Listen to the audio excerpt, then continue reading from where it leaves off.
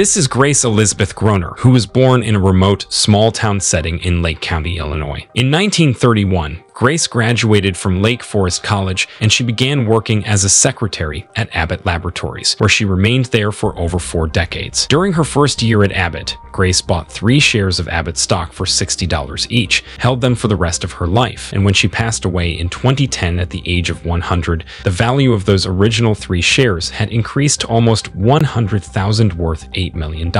Even when she had millions in the bank, Grace's life was straightforward. She never displayed a wealthy persona. She didn't spend any of her money, walked instead of using a car, and lived in a one-bedroom house. Grace eventually gave her whole fortune to a charity she started years before she passed away. Today, many college students are benefiting from her kind donation, a gift that will enable academic and career goals.